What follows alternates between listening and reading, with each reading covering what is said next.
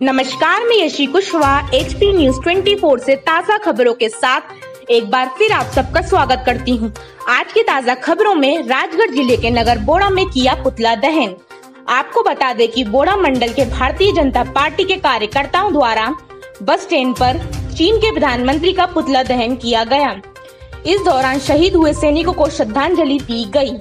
इस दौरान यशस्वी प्रधानमंत्री नरेंद्र मोदी जी के द्वारा एक वर्ष में जो ऐतिहासिक राष्ट्र हित में फैसले किए गए, उसके पत्रक भी सभी कार्यकर्ताओं के द्वारा बोड़ा नगर में वितरण किए गए।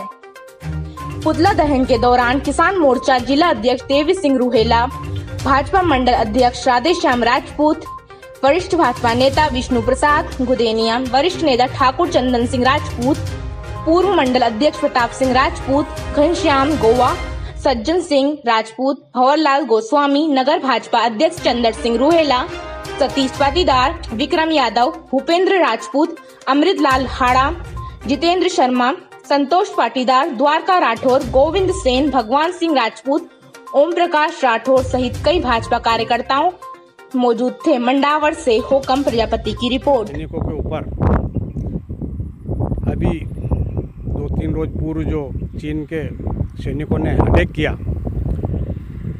उसको लेकर के पूरे देश में चीन के प्रति आक्रोश है और हम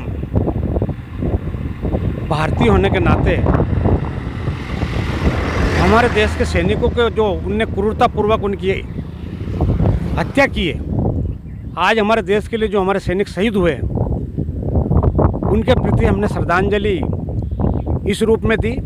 कि चीन के राष्ट्रपति का पुतला दहन किया, जिसमें हमारे सभी बोड़ा और बोड़ा के आसपास के जवाबदार लोग और उसमें आम लोगों ने भी हमारा सहयोग करा और इस आक्रोश के माध्यम से हमने ये चीन को बताना चाहा कि ये भारत बासठ और पैंसठ वाला भारत नहीं है, ये आज का भारत है, एक नया भारत है। हम शांति चाहते हैं उसका मतलब वो समझता है कि भारत कमज़ोर है एक गलत फहमी है। अगर आमने सामने हमारे सैनिक हो गए और किसी भी नियम को तोड़ के अगर आर पार की हो गई तो दोनों देशों का बहुत विनाश हो जाएगा। इसलिए आज हमारी सरकार वो सोच समझ के कदम उठाएगी। आज जो हमारे सैनिक शहीद हुए, उनके परिवार के साथ पूरा देश खड़ा है।